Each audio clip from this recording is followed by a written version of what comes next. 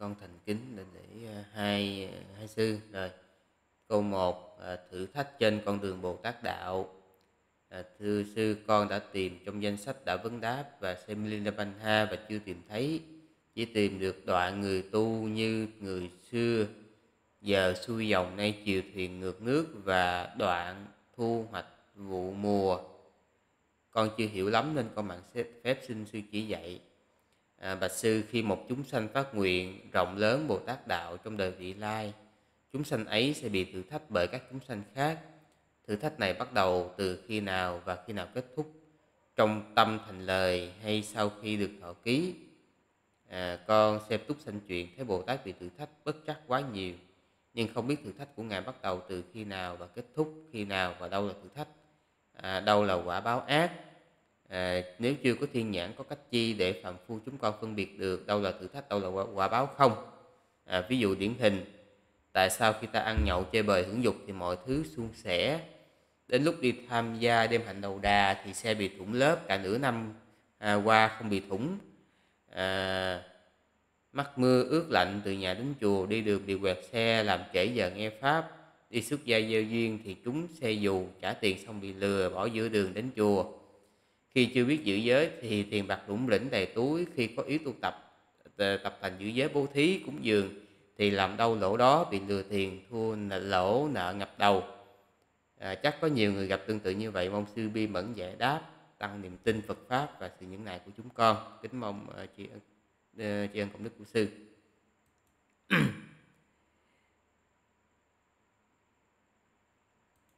À về cái uh, câu hỏi uh, này đó. À, chắc có lẽ là sư thì sư ngược lại với quý vị. Ngược lại là ngược lại làm sao? Hồi sư đi tu á chưa chưa đi tu á. À, sư nghèo lắm. À, à, cũng không có nhiều tiền hết trơn trời. Đến phải nói là nếu như mà nói bây giờ mà à, một năm à, bỏ ra một triệu bạc để làm cái chuyện gì đó cũng không chắc cũng không có không bỏ nổi đâu. Tại tiền mình lo ăn có khi còn Ờ, phải ờ, giật gấu ờ, vá vai mà. À, phải lo rất là nhiều.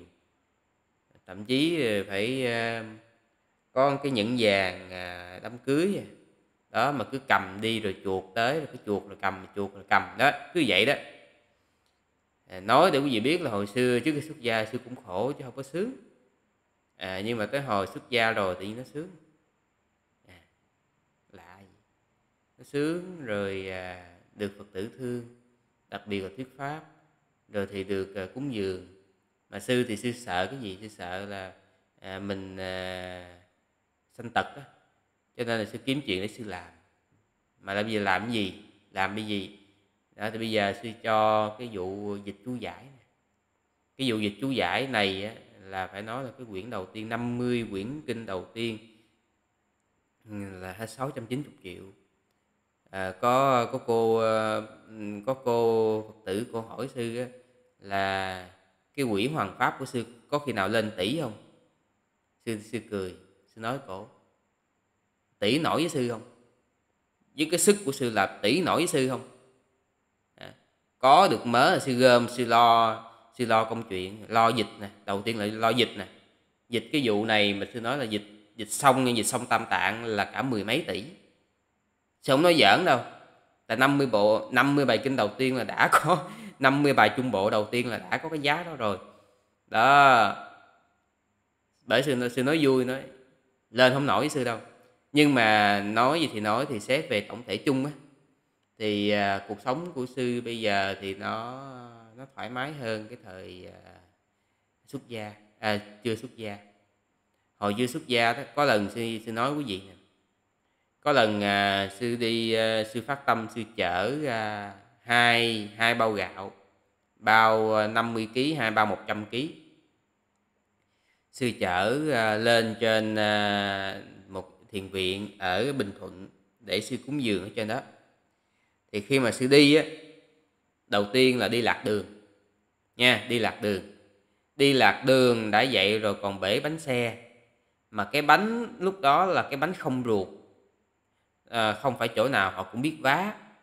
À có chỗ thì đẩy vô để bơm đỡ thôi bơm đỡ để ờ, chạy đi kiếm chỗ vá xe đó thì vừa lạc đường nghe vừa lạc đường mà vừa à, vậy đó à, vừa bể bánh xe à, vừa té xe nữa à, té xe nữa. Thì à, nhưng mà khi đó quý vị biết suy nghĩ gì không? Suy nghĩ thử thách như vậy mà mình vượt qua được thì hai bao gạo này nó mới quý. Thử thách như vậy nó mới quý. Chứ còn nếu mà cái gì nó cũng dễ dàng quá thì nó đâu có quý.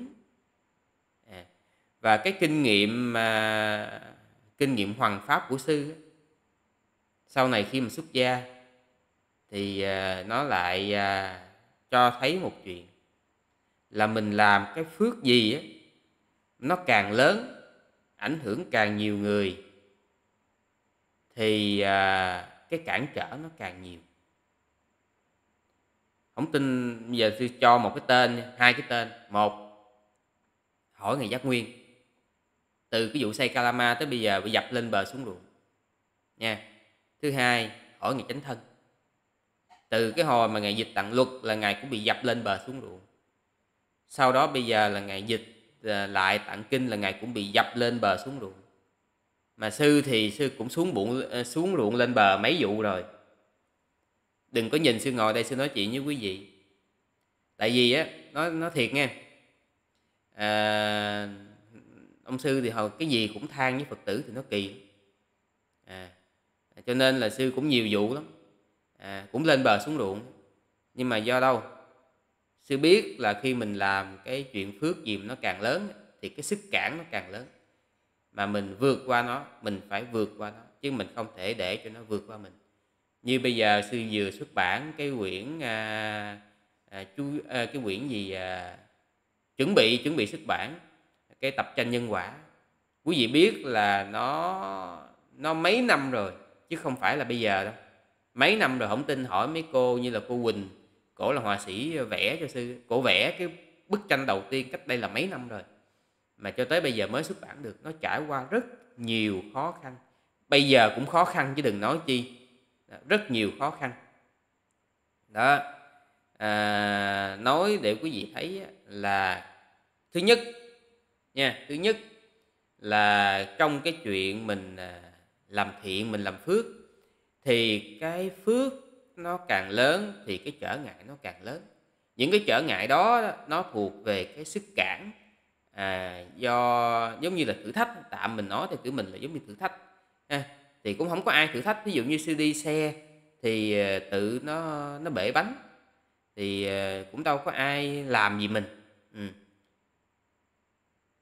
thì à cái cái đó là một cái mình phải ghi nhận ha. rồi um, nhiều những trường hợp nhiều những trường hợp tương tự như vậy đó. À, hoặc như còn cái trường hợp là thử thách à, do chư thiên chư thiên cũng có. Mà chư thiên thử thách là do họ có lòng thiện để họ giúp à, muốn giúp cho mình à, hoàn thành. À, thí dụ như là trường hợp ngài xá lợi phất ngài có cái nguyện ngài bổ túc ba la mật thì khi đó vua trời đế thích mới xuống để xin ngài cặp mắt. À chứ không phải là dẫn chơi đâu. Hoặc là khi mà bồ tát à, hành cái hạnh à, ba la mật thì đế thích cũng xuống để à, làm một cái người nghèo đói à, để mà bồ tát có cơ hội à, bố thí thân mạng của mình. Đó. Thì um, đó là những cái thử thách. Có vị á tại vì cái này nói trước nha là không có căn cứ kinh điển không có căn cứ kinh điển. Thì à, vị này mới nói là có khi cái nghiệp mình nó nó nặng hơn. Nhưng mà nhờ nhờ mình à, tu á nhờ mình tu nhờ mình làm phước á cho nên cái nghiệp nó nó chỗ nó nhẹ. Ví dụ như bây giờ mình à, đang tu đi mà mình à, đi đường mình bị té xe thì có bao giờ mình nghĩ là lẽ ra nha lẽ ra là cái nghiệp mình á tới chỗ này á, là mình gãy tay gãy chân. Tới chỗ này thậm chí mình mất mạng. Mà do cái phước nó nâng đỡ chư thiên đỡ cho cho nên mình chỉ té mình chạy chút đỉnh thôi. Có bao giờ quý vị nghĩ chuyện đó không? Hoặc như là có cô phật tử á, kể chuyện hơi nhiều để cho quý vị có niềm tin. Tại quý vị đòi có niềm tin mà à, có cô phật tử á, cổ à, tới chùa cổ à, làm công quả cổ à, quét dọn chùa. Thì nó lạ một chỗ như vậy nè. Nó có một cái phòng ở trên lầu á. Nó có cái lỗ thủng mà không không ai biết. Thì cổ nói cổ nói lạ như nè cổ dọn xong rồi mà không biết ma xui quỷ khiến thế nào mà cổ chui vô cái lỗ để mà cổ lọt từ trên lầu cổ lọt xuống thẳng dưới đất. Cổ té từ trên đầu, lầu cổ té xuống dưới đất. Mà phải nói là sư nghe cái bịch một cái là sư quay lại sư nghĩ là không lẽ giờ mình đi, mình tụng cầu siêu nó có kỳ quá không ta? Sư nói thiệt á lúc đó sư bụng cho sư nghĩ vậy đó. Không lẽ giờ mình tới mình đứng mình cầu siêu nó có kỳ quá không ta? Chứ sư nghĩ là thua rồi, té chở mà té xuống mà cổ chắc cũng cỡ 60 kg à. à té xuống nghe bự, bịch bự lắm. Nghĩ chắc thua rồi. Thì mới à, kêu à, kêu à, đi cấp cứu. Mà cái đó sư nói thiệt nha sư tin là chư thiên đỡ. Sư tin là chư thiên đỡ tại vì cái kiểu té đó mà không đập đầu là một. Thứ hai là không chết. Cái thứ ba là khi mà đi tới bệnh viện à, trước đó nữa nha, trước đó nữa là trước khi mà có cái à, cái cái vụ này, tai nạn này là có một cái đứa bảo hiểm, nó nài nỉ cổ mua bảo hiểm nài nỉ ông chồng mua bảo hiểm. Nài ông chồng mua bảo hiểm bảo hiểm tai nạn. Mà bảo hiểm ờ, mà anh chồng ảnh à, ảnh bị tiểu đường cho nên ảnh không có mua bảo hiểm được. Thì cô vợ, cái cô này nè, cổ thấy tội nghiệp, cổ mua cổ mua một cái là cái vụ này là bảo hiểm nó lo hết. Bảo hiểm lo hết. Nha. Rồi mổ. Mổ thì bác sĩ nó chỉ lệch một tí thôi là cổ liệt. Chỉ lệch một tí thôi là cổ liệt nha. Thì à, vì cái vụ đó sư tin là chưa thiên đỡ. À, thành ra đó mình đừng có nghĩ là mình làm mình tu là nó xui có nhiều khi mình tu nó đỡ mình nhiều vụ lắm chứ không phải là mình bị khảo đừng có nghĩ là khảo. Mà một cái này là sư suy ra từ kinh tạng nè. Là trong kinh ờ, phẩm ờ, tăng chi phẩm hạt muối đức thế tôn nói cái người mà có tu tập ấy, thì à, khi mà họ làm một cái nghiệp là một cái nghiệp nhẹ thì cái nghiệp đó nó trổ ngay trong kiếp hiện tại mà nó không có cái hậu quả cho đời sau kiếp khác thì cái này là do sư suy nha do sư suy nha cái này là do sư suy. Thì có khả năng do mình làm phước ấy. Cho nên là những cái nghiệp mà lẽ ra nó nặng hơn, bây giờ nó nhẹ, mà nó nhẹ thì nó sẽ trổ sớm. Thành ra bây giờ là mình chịu. À chứ lẽ ra có khi mình đi địa ngục nha, có khi mình đi địa ngục miệt mài, mà bây giờ cái nghiệp đó nó trổ thành à, cái nghiệp đó nó nhẹ bớt, rồi thành ra nó trổ ngay trong kiếp hiện tại nhưng mà đảm bảo là mình bị trong kiếp hiện tại mình không có bị ở kiếp sau. Thì như vậy quý vị thấy có đáng không? À, có đáng không? Tức là thí dụ như bây giờ mình mượn người ta à, một tỷ à nhưng mà bây giờ à, có ai đó trả nợ dùm ta nói thôi bây giờ tôi trả nợ hết dùm cho anh cho chị nghe. Nhưng mà với điều kiện là bây giờ đưa đưa tôi à, 1 triệu tượng trưng thôi đưa 1 triệu tượng trưng thôi. Thì coi như mình mất một triệu mà mình trả được nợ một tỷ thì quý vị mặc dù là chưa đến cái thời điểm đáo hạn thì quý vị có trả không? Có đưa liền không? Đưa liền chứ. Thì sư đoán à, cái này là do sư tự sư suy tư nha. Thì có một số trường hợp á, à, nó là như thế. Ngoài ra thì còn có một số trường hợp là người ta oan trái với mình. Oan trái do nhiều lý do. Một là do ác nghiệp quá khứ. Hai là do sự à, ganh tị với cái tốt của người khác. Có nhiều người lạ lắm. Thấy người khác tốt mình chịu không nổi. Tới thấy người khác tốt là mình phải tìm cách mình trù dập mình sóc xỉm à, để mình chèn ép người ta. Tôi thấy nhiều vụ lắm. À, thì à, đó cũng là một cái tức là người ta do cái phiền não người ta đấy rồi à, người ta à, tấn công mình thì cũng có. Cho nên á, à, cái vụ mà có phải là nghiệp hay là khảo thì suy nghĩ hai cái đều là một hết. Hai cái đều là một hết nha. À, có những cái nó khảo gọi là nghiệp là do lẽ ra là nó nặng hơn nhưng mà do nhờ mình có làm phước à, cho nên là nó trổ sớm hai là có đôi khi thì chư thiên thấy là mình cần phải à, có cái sự quyết tâm cao hơn cho nên là chư thiên cũng à, khảo mình cho nó hơi khó tí xíu. Nhưng mà nói thiệt là sư cũng có cái nguyện ngầm ở trong bụng thôi. À, nếu mà có khảo tôi thì khảo vừa đừng có khảo quá khảo quá tôi tôi gãy á. Tại tại tôi nhắm tôi tôi không chắc là tôi cũng giỏi giang gì đâu. Cho nên là thôi chư thiên giúp dùm cho tôi ba cái vụ à, mà tôi gì tôi gì tam bảo nha tôi gì tam bảo. À, tôi gì thiên hạ thì à, có khảo thì à, cũng chừa chừa tôi ra nha tôi sức tôi yếu lắm khảo mạnh quá tôi chịu không nổi đâu tôi bung á. Thì à, xin mời đại đức à, tuệ từ. À, kính thưa đức kính thưa quý vị. Thì à, riêng câu hỏi này nè có nghĩa là trong một câu hỏi này có có, có nhiều câu hỏi nhỏ nhưng mà tụ chung á tụ chung lại sẽ, sẽ có một ý à. Nhưng mà sẽ đọc lại cho quý vị hiểu tại sao có một ý là như vậy. Quý vị này hỏi là thử thách có nghĩa là vấn đề mà Bồ Tát á thì bị thử thách đó, bởi chúng sanh thử thách bắt đầu khi nào và khi nào kết thúc. Đó. Trong tâm hay thành lời. Đó. rồi uh, lại hỏi tiếp là ngài bắt uh, túc sinh chuyện rồi bị thử thách. Đó. rồi uh, bắt đầu kết thúc khi nào rồi uh, thử thách và quả báo ác. Đó như vậy tương tự như vậy.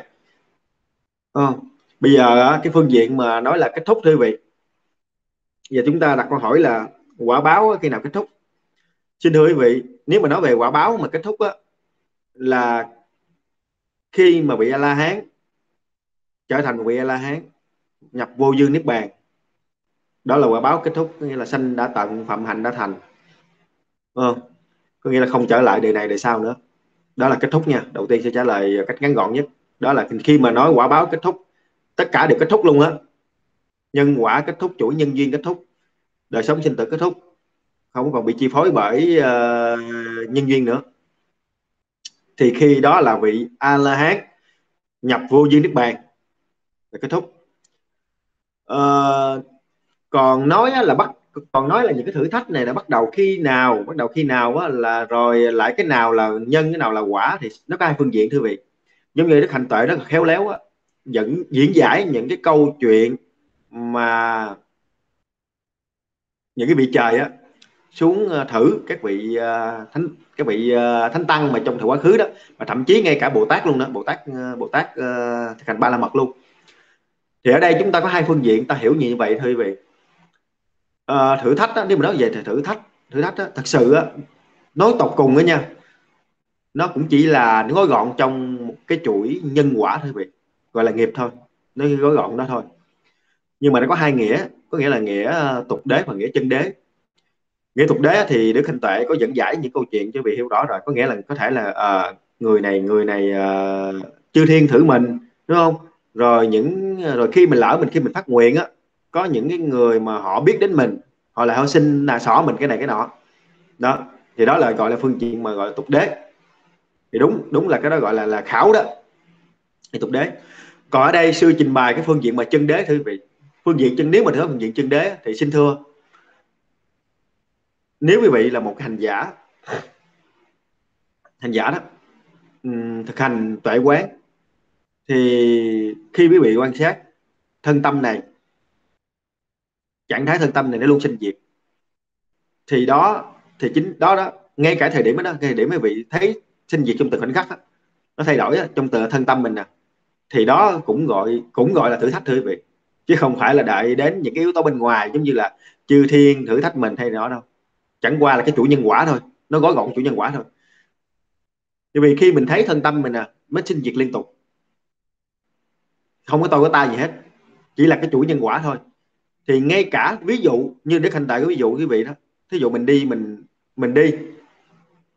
Mình bị quẹt xe. Thì cái cảm thọ ở nơi mình, nó đau khổ, nó lên. Thì mình hiểu rằng mình tư duy được rằng đây là cái nhân trong quá khứ mình khiến cho cái quả mình như vậy. Và nhờ cái mình mình có tu tập tại quán.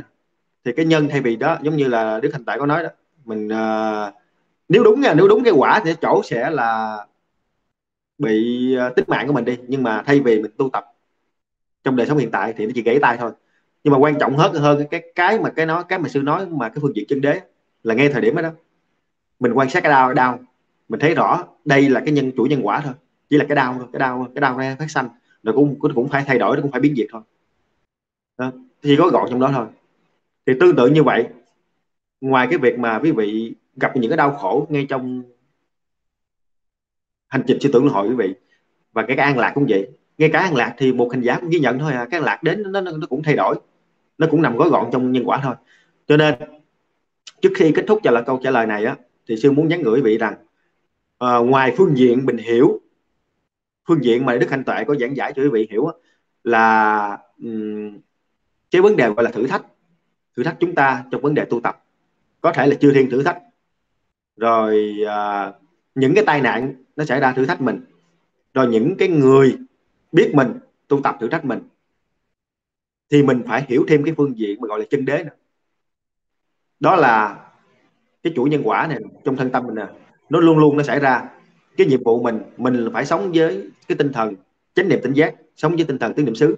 Thì khi mà cái điều kiện đó, thuận lợi tức là quả an lạc nó chỗ đến mình giống như mình có thể uh, trúng số mình có thể được người ta ưa chuộng ưa ưa mến đúng không? mình cũng không vì đó ngã mạng mình không vì đó mà vì mình tha hóa mình quên được tu. Rồi mình gặp những cái tai nạn trong cuộc sống nó làm cho thân tâm mình nó đau khổ đúng không? Thể cái nghĩa thể xác mình bị hư ha hư ha mình gãy tay gãy chân. Đó rồi thân tâm mình mình bị người ta làm cho phiền não. Thì dưới phương diện của tinh thần sống tinh chánh niệm tinh giác thì đó nó chỉ một cái gói gọn là cái chủ nhân quả thôi đúng không? Và quan trọng nhất là cái phiền não của mình nó nó không có chi phối mình để mình sớm mình sớm á, chấm dứt khỏi sinh tử luân hồi. Dạ cũng xin kết thúc phần trả lời câu hỏi này ạ. à.